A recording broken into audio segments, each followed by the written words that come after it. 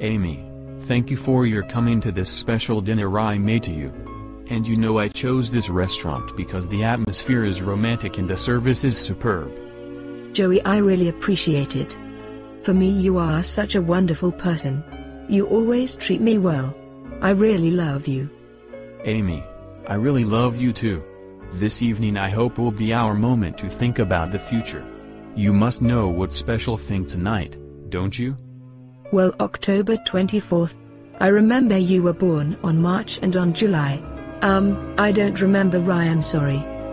I thought you remember the first time I met you last two year. I give you three hints one flash disc two Tony and three campus.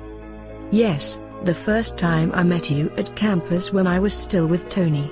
At that time you were returning his flash disk, when I first saw you.